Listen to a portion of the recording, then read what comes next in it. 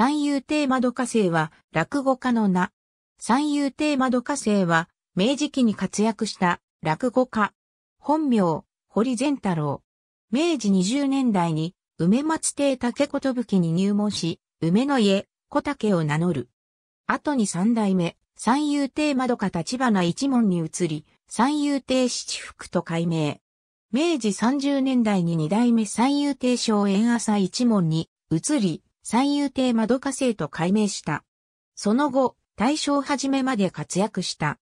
落語家としては大成しなかったが、奇人として人気があり、イカたちの異名があった。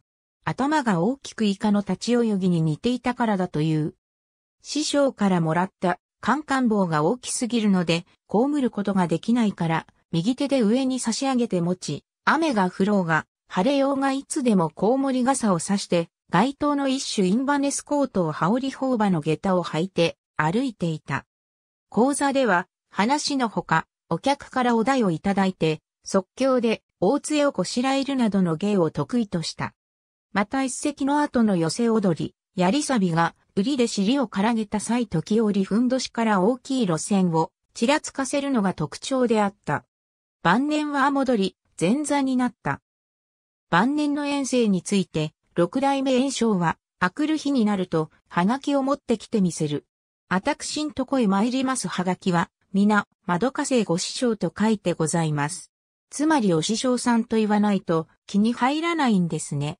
それから、ちょいとお師匠さん、へえ、あの羽織をこっちへ畳んで、嫌なお師匠さんがあったもんで、師匠下駄取ってくれってくすぐり、まるであれなんですというエピソードを残している。また、五代目古今亭、新章の最初の師匠として歴史に名を残している。